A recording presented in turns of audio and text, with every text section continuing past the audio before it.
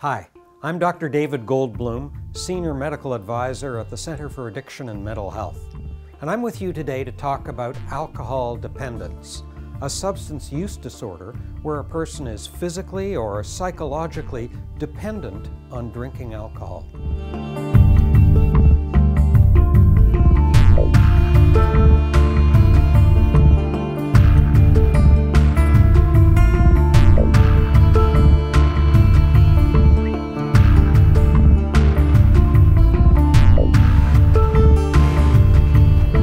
Most people who drink alcohol think of themselves as moderate or social drinkers.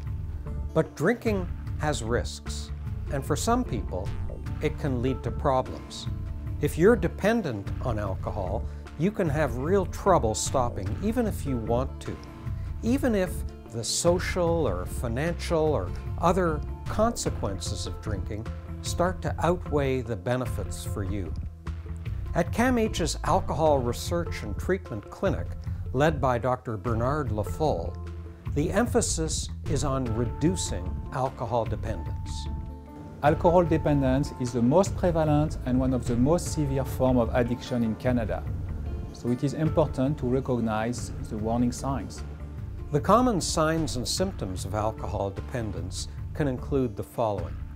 Not being able to control your drinking or not being able to quit needing more and more alcohol to get the same effect, spending more and more of your time either drinking or hungover, and finally, experiencing withdrawal acutely when you stop drinking, and that can mean sweats or shakes or simply craving alcohol. Alcohol dependence is associated with multiple health risks.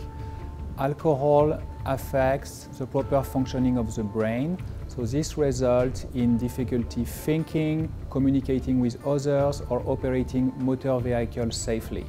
Alcohol dependence also results in psychiatric problems, notably high rate of depression, severe anxiety, and the rate of suicide attempts in people with alcohol dependence is six times higher as compared to the general population.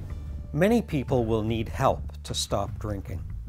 Fortunately, there are options available for people struggling with alcohol dependence.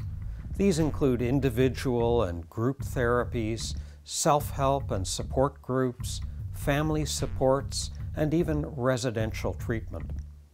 Drug therapies using drugs like naltrexone or acamprosate are also a viable option for alcohol dependence.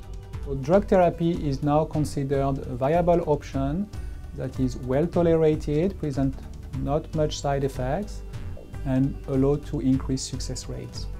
If you're having trouble dealing with your drinking, don't be shy. Talk to a friend or to a professional like your family doctor about getting some help. If you'd like some more information about alcohol treatment, you can call CAMH at the number that's on the screen right now. Or you can call Ontario's Drug and Alcohol Helpline. They're open 24 7. And did you know that CAMH has developed an app that allows you to monitor your drinking? You can download the Saying When app at the iTunes Store. I'm Dr. David Goldbloom. Thanks for watching.